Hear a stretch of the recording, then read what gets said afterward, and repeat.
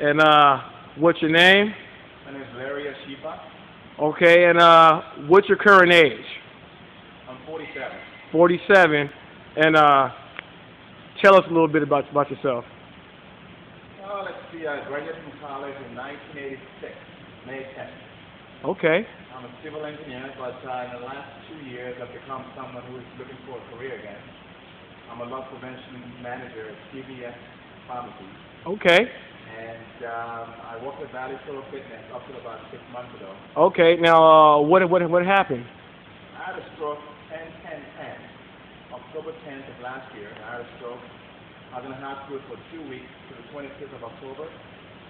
And uh, it became a long journey from there where I began my rehab with Robert. And uh, that's the story from then until now.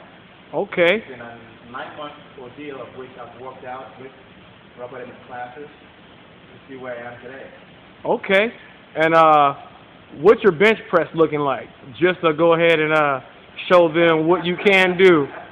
I, I used to bench about 375 pounds until I had my stroke.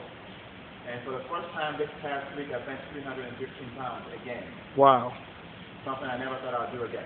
All right. Now, for the ones who are uh, still questioning their, I would say, their mental toughness when it comes down to uh, exercise, show us the pack.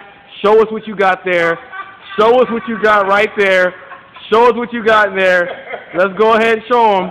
Let's go ahead and show them. My man is, my man, look, 47 after stroke, rehab all the way, Trying to get it done. and he's feeling good. It's the beginning. Great job, bro. Thank you very much, Robert.